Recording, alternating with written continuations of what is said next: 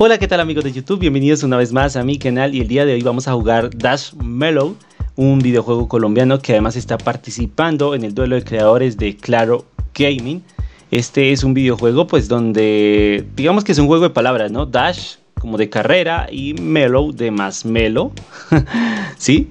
Entonces, eh, pues básicamente la sinopsis del juego es esta, les voy a mostrar aquí un video. Entonces al parecer unos niñitos estaban haciendo una fogata, abrieron la bolsa de masmelos, iban a sacar los masmelos, el masmelo huyó y empezó a correr de ellos, a, huir de ellos, ¿no? Y esa es la premisa. Estamos huyendo de unos niños que literal pues nos quieren tragar porque somos su comida de la fogata, ¿no? Este videojuego fue desarrollado por Therium. Therium Games. Se llama así. Em, de verdad está muy bonito en cuanto a los dibujos y la musicalización, muy buena. Además, em, resulta que el juego tiene hasta, pues de lo que he visto hasta el momento, tiene un modo multijugador, el cual pues lamentablemente eh, no he podido jugar. Eh, aquí incluso voy a ingresar al modo multijugador y este soy yo al parecer más adelante vamos a poder tener la oportunidad de, tener también como skins y cosas así. Este apartado no sé para qué es, este maletín que tiene. Ah, miren, un maletín de emoticonos. Puedo tener hasta 10 emoticonos, coleccionar 10 emoticonos que puedo usar aquí, aquí en mi, en mi sala de espera mientras tanto. Qué chévere, ¿no? Esto, aparte también al parecer en el modo multijugador puedo ir subiendo de nivel, ¿no? Algo así como una clasificatoria se podría decir. Pero entonces si yo le doy search eh, al parecer no existe un juego en este momento disponible que pueda jugar. Y yo puedo jugar con otra persona pero cuando quería probar este juego no pensé en eso y pues ya lo estoy grabando. Porque también puedo crear una partida pero no sé si alguien en este momento lo esté precisamente jugando como para que ingresara entonces voy a ir atrás tenemos el modo World, que es como el modo historia del juego. Se puede jugar, lo puede jugar una sola persona. Y se viaja a través de un maravilloso mundo, em, coleccionando fresas y pues no dejándote atrapar, ¿no? El modo carrera infinita, asumo que es como eh, un modo en el que literal es, es eh, acumulando puntos, ¿no? Dice, eh, corre sin parar alrededor del mundo. Puedes mantener, mantenerte no, no sé qué es lo que dice ahí en verdad. O sea, mejor dicho, infinito hasta que lo atrapen a uno, ¿no? Y van a colocar un nuevo modo que al parecer es, dice, Coming Soon with Boys, o sea, con voz. Una carrera de cuatro players con voz. Wow, eso sí me parece interesante. Pero bueno, o sea, eh, el juego está muy bonito. Este juego está, como ya lo dije, participando en el duelo de creadores. Pero tiene muchas cosas, o sea, tiene muchos elementos. Tiene hasta, mm, creo que, miren, por ejemplo, acá tiene los trofeos, estadísticas y todo. O sea, tiene estadísticas, tiene muchas cosas. O sea, lo, lo, han pensado con muchos elementos para hacer que el juego invite a la rejugabilidad y también invite como a la competitividad. Eh, por ejemplo, acá hay una serie de puntajes que no sé si son predeterminados o estos puntajes si son reales, pero pues tremendo, ¿no? Esto, aquí los high score. También a ver qué tenemos aquí en estrellas, no sé qué es esto, pero eh, parece que son para skins, ¿no? Ok, parece que es para skins. Por otro lado, aquí son las fresitas que acumulamos. También creo que en el modo mundo eh, cada 24 horas podemos coleccionar estas fresitas que vamos a recoger, ¿no? Eh, al parecer en este mundo, llamémoslo en el mundo World, en el modo historia, hay dos estrellas por recoger.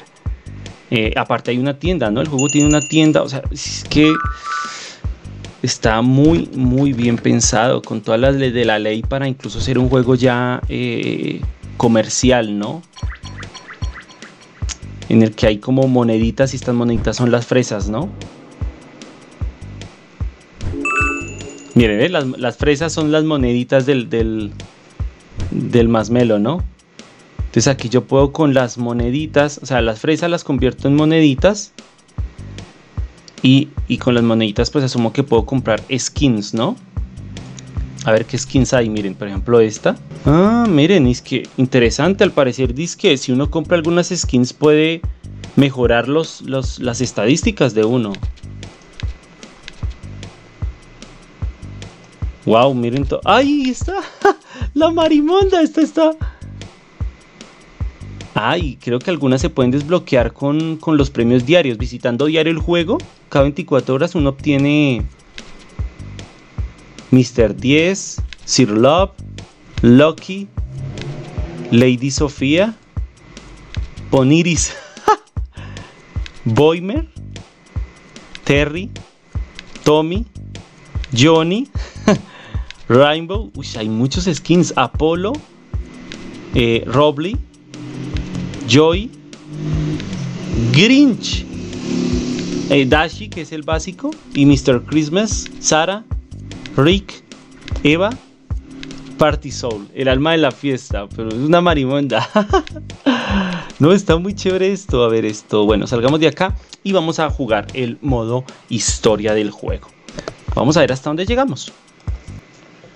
Bueno, la idea es que en el juego utilizamos básicamente el tap. Es lo único que, que agarramos. O que usamos, perdón, es que agarramos. Lo único que usamos es el tap. Es decir, el toque con el dedo. El juego tiene algunas cositas que me llaman la atención y una de esas es que se puede pausar en plena carrera. Aparte abajo nos sale como un minimapa, llamémoslo así, del circuito, en donde hay como unas pequeñas casitas con unos patos adentro que deben ser como unos checkpoints, asumo. Eh, aparte hay un contador eh, de tiempo y creo, si no estoy mal, que mi cara está tapando eh, los coleccionables que son las fresitas. Al parecer en este nivel puedo coleccionar hasta 50 fresas. Vamos a ver si las podemos agarrar todas. Entonces vamos. Entonces tengo que ir agarrándolas. Eh, aparte del niño queriéndome atrapar hay otros enemigos. Wow, eh, al parecer las zanahorias me dan velocidad. Wow, está muy bien pensado este juego. Qué maravilla, de verdad. Miren tan chévere. Miren, sí, un checkpoint son los patitos. De verdad que está muy bien pensado. Uy, donde ese niño me alcance. Ah, ahora entiendo. A veces el niño puede usar cosas para alcanzarme. Y ahí es cuando lo importante que yo agarre la zanahoria. Las zanahorias me dan velocidad y donde y entre más me, me bloquee una pared o algo, entre más yo me estrelle, le doy las posibilidades al niño de que me atrape. ¡Ay, no cogí la zanahoria, bruto! Ay, la zanahoria era la clave, pendejo. Mire, ya estoy muy cerca de que el niño me atrape. Estoy a poco de que ese niño me atrape. Araña. Me atrapó. A punto de llegar al final. Uy, no. Uy, pero cogí 47 fresitas. Y bueno, tuve una estrella, ¿no? Ahí la idea es que repetirlo. Sí, la idea es repetir el, nivel. No creo que me hayan desbloqueado el otro nivel. Para desbloquearlo tengo que llegar al final. Ah, qué chévere. No siempre es el mismo personaje que lo persigue a uno. En este caso es la niña científica. Miren cómo hace todas esas como operaciones. Eso es como un cono. Le está haciendo, le está sacando como el. ¿Qué le está sacando? ¿La altura de ese cono? Bueno, tap. Vamos, empecemos. Vamos, vamos, vamos. Qué buenas animaciones que tiene, les digo. Qué buenas animaciones que tiene el juego y la musicalización y los soniditos. Cuando el, el, masmelo está caminando, hace, hace muy bien. Bueno, otra vez el niño este del... Por ejemplo, ahí llevo una buena ventaja. Pero la idea es, efectivamente, no estrellarme contra objetos. Por ejemplo, están los puercoespines Siento que los puercoespines son los más difíciles de ver, siento que están muy ocultos, las plantas también. Creo que en ese sentido sí de pronto se podría manejar, manejar, mejorar un poquito los colores, la diferenciación de los colores en el juego. porque siento que los colores sí a veces como que algunos elementos se camuflan con los mismos colores de otros elementos interactivos. Es que siento que algunos elementos como se camuflan mucho con el, con el fondo en algunos aspectos y entonces como que suele hacerse un poquito confuso, ya que utilizan como los mismos colores. Pues, por ejemplo, las fresas son fáciles de identificar, pero por ejemplo las plantas se ven que nacen entre las mismas esto. No sé si es intencional, asumo que también en parte es intencional, pero siento que dificulta un poco ver porque es que todo es verde y que la planta también sea verde y que no tenga al menos un color identificativo como algún, no sé, otro color, no sé, un rojo que le salga una boca y la boca unos dientes o algo que sea un color diferenciador, me gustaría. Por ejemplo, la araña, miren la araña, la araña es morada. Es un color que combina muy bien entre un fondo verde, pienso yo. O sea, se resalta muy bien eh, y se puede ver a simple vista.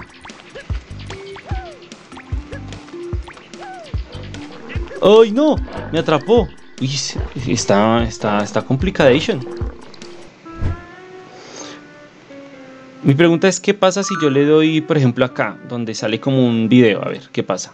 Bueno, esto resulta que cuando le di clic al video, eh, era, eh, o sea, era publicidad, pero al parecer la publicidad es como una forma de romper las reglas, ¿no? Porque al ver el video me dejó en el checkpoint o cerca del checkpoint, o mejor dicho, donde morí, para darme la oportunidad de continuar. Está muy interesante esa, esa, esa forma de, de hacer también comercial el juego, ¿no? De, porque después de todo, de todas formas, el esfuerzo y todo que, requiere hacer un juego también implica que al menos se va a ganar de alguna forma, ¿no?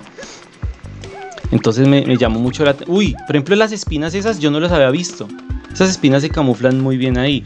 Se ven, pero siento que, que, que, em, bueno, aquí por ejemplo rescaté a mi amigo, entonces aquí ya obtuve las tres estrellas. Esto, bueno, asumo que si le doy acá sigo con el siguiente nivel. Si son dos estrellas, pues son cuatro niveles. 4 por 3, 12. Son cuatro niveles en el modo eh, historia. Aquí el niño está imaginando comiéndose el melo Entonces vamos a darle. Bueno, aquí los puercoespines se ven mejor. ¡Ay, esas burbujitas de dónde se obtienen! ¿Esto qué es? Ah, las... Las... Las... ¿Cómo se llama esa, esa mata? Las... Ay, se me olvida el nombre de esa bendita mata. ¿Cómo es el nombre de esa mata? Se me olvida, se me olvida. Mm, los arándanos. Los arándanos dan protección. Eso es muy interesante. arándanos, ¿no? Qué rico. ¡Ay, Dios mío! ¿Me va a alcanzar ese niño? No, no, no, pero ¿por qué? ¿En qué momento me golpeé o qué? No, niño, no me toques, no me toques. No, caí, caí donde no había. Me va a alcanzar. Uy, Ay, pensé que me había alcanzado. Llegué apenas. Tiene, cierto nivel de dificultad el juego, pero también una, una mm, curva de aprendizaje muy, muy buena. Ya uno va identificando siempre quiénes son los enemigos, ¿no? En este obtuve dos estrellas, creo que por el puntaje o por las fresitas que agarré, es que no agarré casi ninguna. Sigamos. Nivel 2. Bueno, otra vez con la niña, la niña los cálculos físicos incluso tiene una camiseta que dice I love, I love más melos, ¿no? I love más melos, entonces es muy interesante. Uy, esa cajita de regalo me llama la atención, a ver, ¿cuál? ¡Ay! ¡Qué chévere! En esta me sale uno al azar y yo lo puedo elegir para, para usarlo. Uy, qué chévere. ¡Ay, no! No, no, no, la he embarrado. ¿Por qué? ¿Qué, qué agarré? Ah, al, al parecer algo me estrelló ahorita. Cada personaje usa algo diferente para volar, ¿no? Ay, no, esa niña sí me va a alcanzar. Esa sí me atrapó. Este nivel está difícil.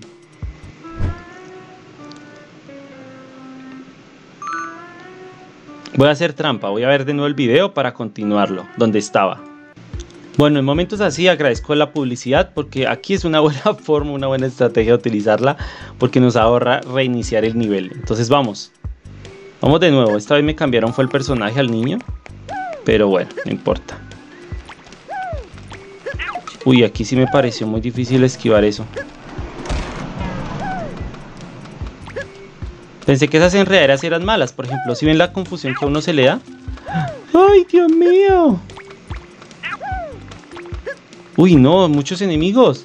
Otro checkpoint, gracias, checkpoint. Ay, había un limoncito ahí, pero Ah, claro, tengo que caer y después en el aire saltar.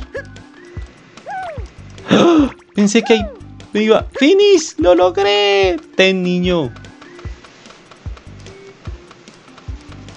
Oiga, de verdad que qué jueguito tan bonito. De verdad, de verdad los invito a jugar el juego, está muy, está increíble, de verdad.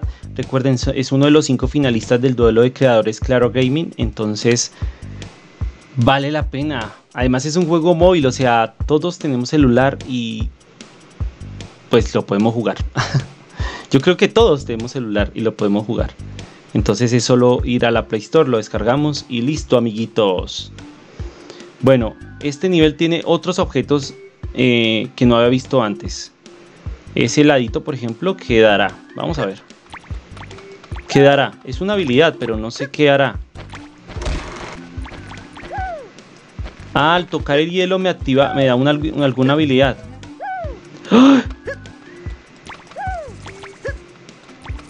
Ay, este hijo de madre.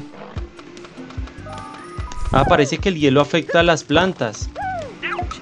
Ay, me agarró ese niñito.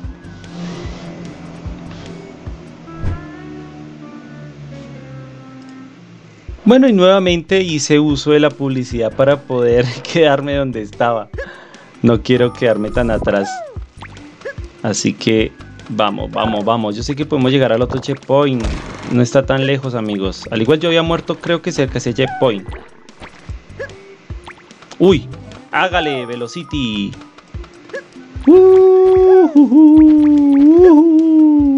Uy, acá sí hay hartos enemigos. Ay, que me chuse con ese hijo de madre. Toqué este también. Ya, ya vamos a llegar. Finish, finish, finish. Excelente.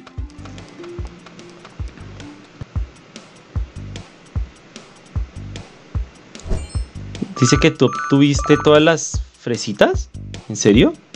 Level complete, no entiendo, ya logré todos los levels, ¿no? ¿O faltan más? Ah, ok amigos, ya entendí, ya entendí cómo es la cosa aquí. Esto, el juego tiene, tiene varios, varios niveles. O sea, aquí por ejemplo nos muestran 8, aunque al parecer hay nuevos niveles y algunos como eh, ocultos, por decirlo así. Pero si yo le doy clic al primer nivel, que es este, a su vez está dividido en cuatro niveles pero no me permiten pasar al, segundo eh, stage, por decirlo así, hasta que no tenga las 12 estrellas. Entonces imagínense, tengo que repetir el nivel 2 y tener las 12 estrellas, o si no, no puedo pasar al siguiente nivel. Pues amigos míos, tienen una gran tarea porque este juego se nota que está muy bien pulido, tiene muchos niveles y eso hace que sea jugable por bastante tiempo. Y ah, otro, otro aspecto que ya lo dije, el multijugador no lo puede jugar, pero si ustedes tienen un amigo con quien lo pueden jugar, ahí se facilitan un código, con un código, el, que crea la sala se la facilita al otro y se unen y pueden jugar, que debe ser una cosa maravillosa. Entonces amigos míos, yo creo que dejaré hasta aquí. Ya la invitación es para ustedes, vayan, pruébenlo y después, dependiendo de cuáles de los cinco juegos fue el mejor para ustedes, pues ya saben, tienen que votar en el duelo de creadores, claro, Gaming 2022. Muchas gracias amigos por haberme acompañado. No olviden darle like, comentar y suscribirse. Y nos vemos en la próxima. Bye bye.